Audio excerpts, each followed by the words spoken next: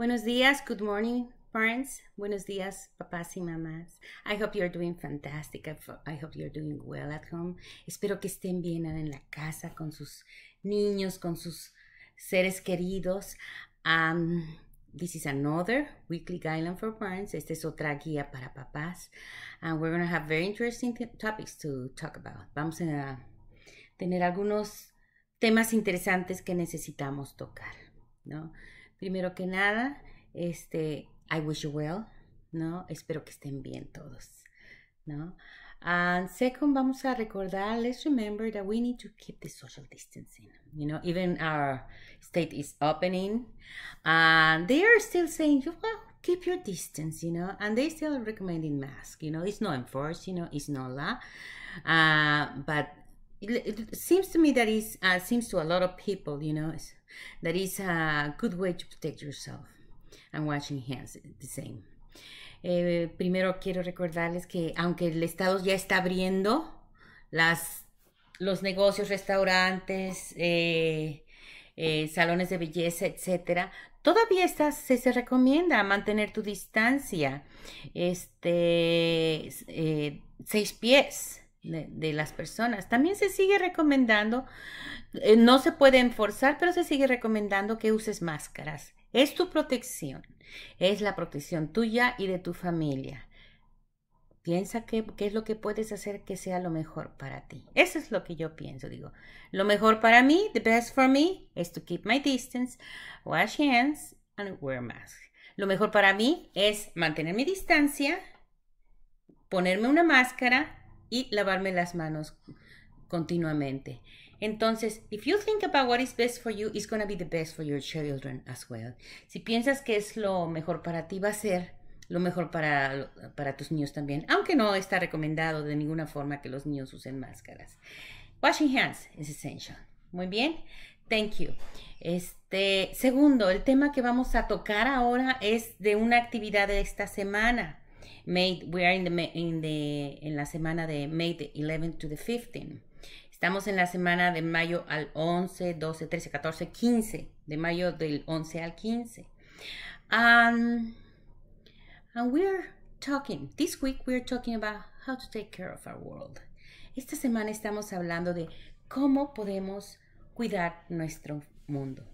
Y you're going to have videos and activities related to recycling. Vas a tener videos y actividades relacionadas al reciclar.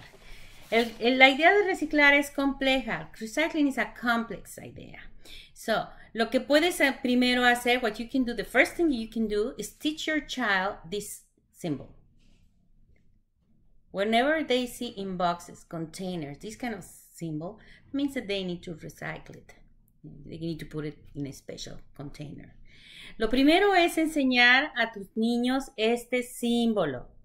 Este símbolo, quiere decir reciclaje, producto que puede reciclarse.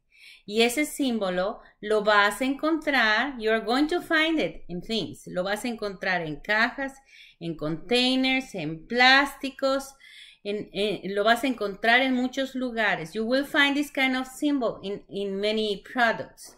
So if you help your child to become aware about finding the symbol in products, it's going to be easy to understand the concept. Eh, si le enseñas a tu niño a encontrar este símbolo en los productos que tienes alrededor de la casa, va a ser más fácil que tu niño entienda qué es reciclaje. En esta página, in this page, you can see some things like a cereal box, a milk container, a regular box, you know, a can, paper, you know, or I don't know if it's a fruit or paper. Uh, but the thing is, all these products are supposed to be recycled. ¿no?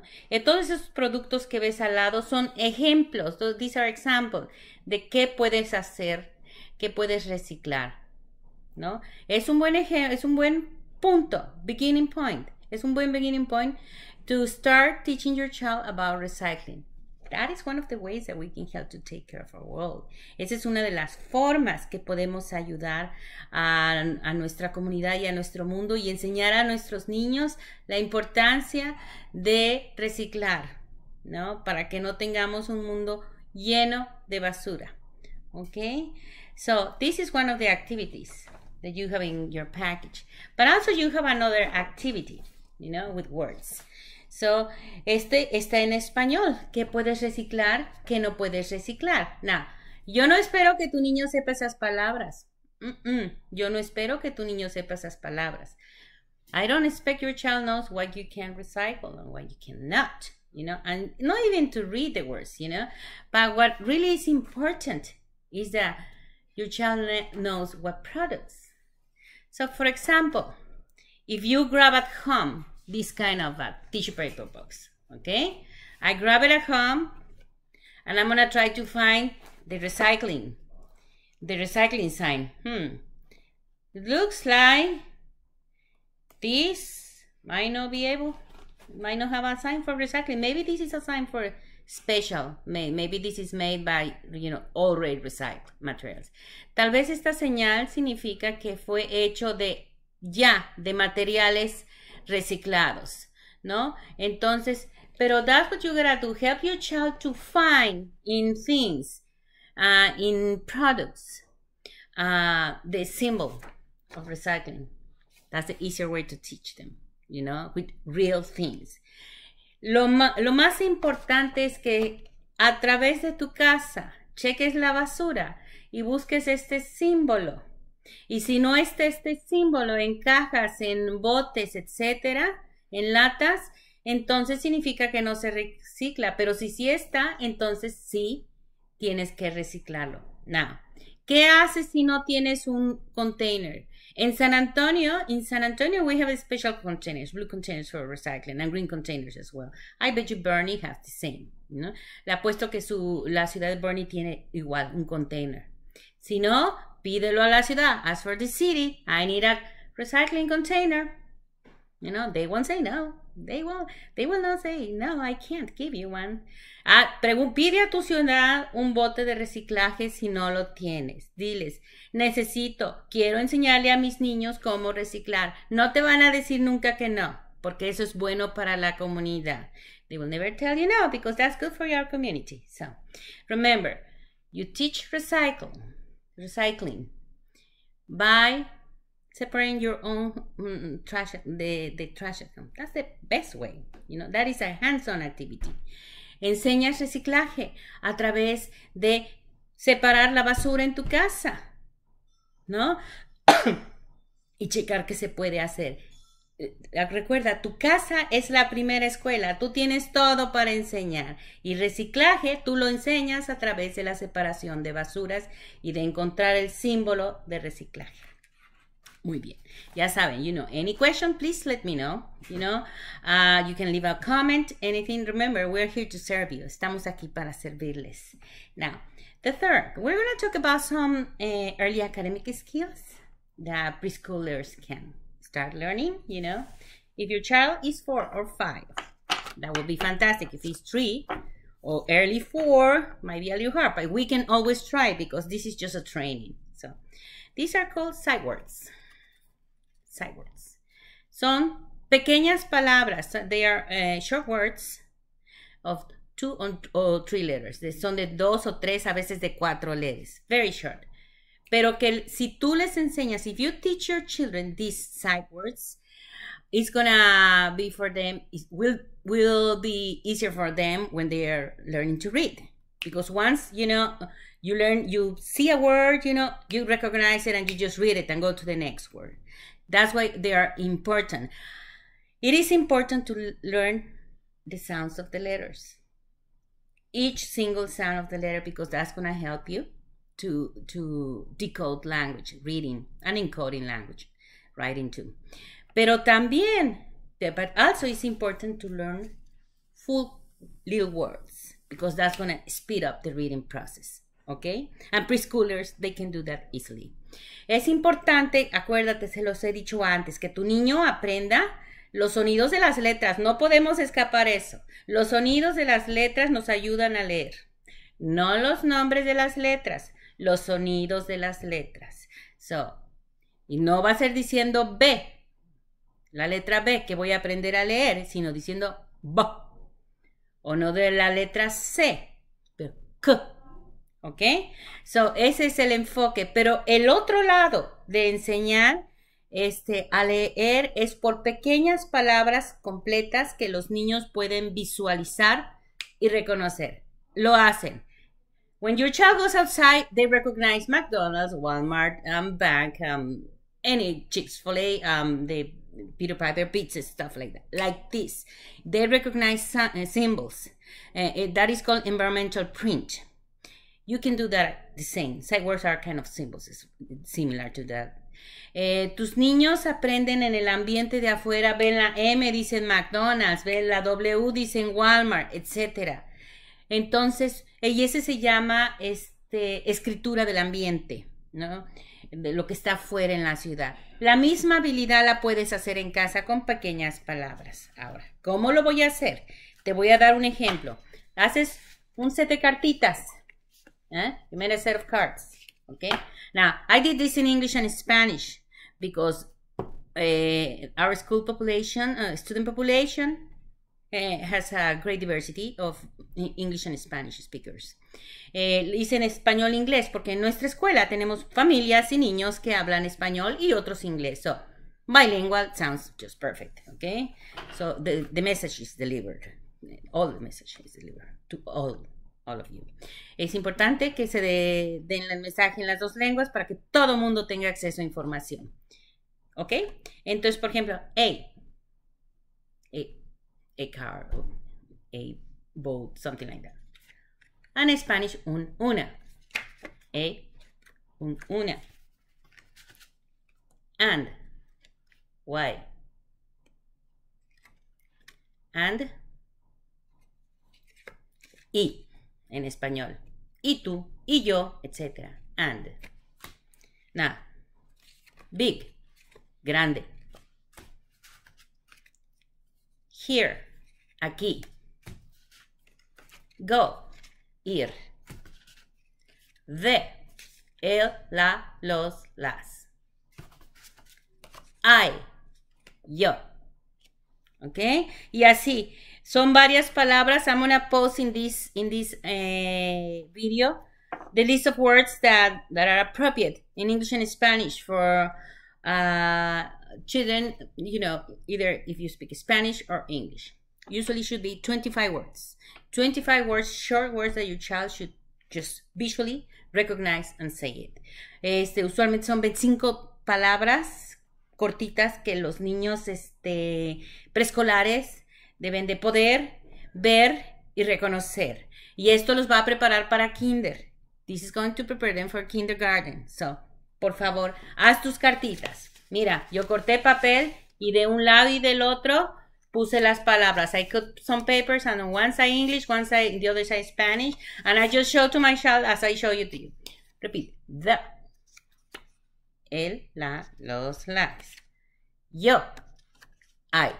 So next time, as you repeat this exercise, cuando vas repitiendo este ejercicio, ya cuando le enseñes a tu niño, ya que te pueda decir I o que te puede decir yo. Por verlo, esa es la meta, que nada más vea la palabra y diga, oh, yo. The goal is the child see the word and say, oh, okay, uh, go. That means go. Okay, perfect. That means we are, he's learning by sight uh, words, short words. Okay. Now, the last part that we're going to talk about is about, uh, we're going to continue uh, about helping your children to overcome stress, to building resiliency. Vamos a continuar hablando sobre ayudar a tus estudiantes a superar los estreses de la vida este, a través de construir resiliency, resiliencia, que significa eh, pararte otra vez, limpiarte las rodillas y volverte a parar, tratar y tratar, porque esa es la vida. La semana pasada hablamos sobre desarrollar habilidades que se puedan ayudar ellos mismos. Competence. We talk about competence. Child, you know, learning to tie their shoes, you know, to comb their hair, to get dressed, you know. Those things help them to develop resilience, self-help help, help skills. Today we're going to talk about developing character. Help your child to develop character. Hoy vamos a hablar sobre ayudar a tu estudiante a desarrollar personalidad, a un carácter, ¿no? una personalidad, un carácter. So, una de las formas y un carácter que sea socialmente proactivo. Uh, we're talking about a character that is socially proactive. You know, we want to uh, help the children to develop empathy, you know, care for others. Queremos enseñarles a los niños que desarrollen empatía y el que les importen los otros, los otros niños, los otros seres vivos, etcétera, animalitos, etcétera. How can we do this? ¿Cómo lo podemos hacer? Number one, notice when your child uh, uh, has an act of kindness. Mira cuando tu estudiante esté haciendo algo bueno. Catch them, catch them being good. Cáchalos siendo buenos. que se está haciendo algo. Qué, qué lindo. How nice. I saw you helping that child getting up. Qué lindo. Vi que le ayudaste a recoger sus cositas. That will teach your child what is how how looks to be kind, what is like to be kind, you know, and it's essential. You know, empathy is not something that we're born with. Uh, some children, some humans, yes, they are there. They are out there. They are, they feel empathy and it's natural for them. But usually, for most of the majority of our um, species, we need to teach it. You know, we need to help the ch children uh, to develop, the young people to develop that. Eh, empatía es algo que no es completamente natural en el ser humano. Algunos seres humanos sí, desde chiquitos ya son un pancito de Dios. Son una cosa hermosa. Así es natural, pero no todos nacemos. Algunos, algunos no nacemos con esa empatía natural y nos la tienen que enseñar. ¿Y how, how, cómo la aprendemos? A través de un modelar, no? We learn empathy also and caring and, and develop character when we see our parents and the adults around us practicing it.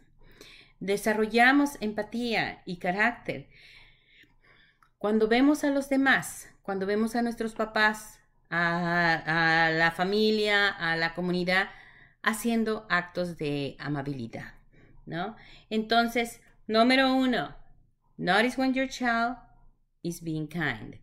Nota cuando, número uno, nota cuando tu niño sea amable. Número dos, um, notice when somebody else is being kind to someone else.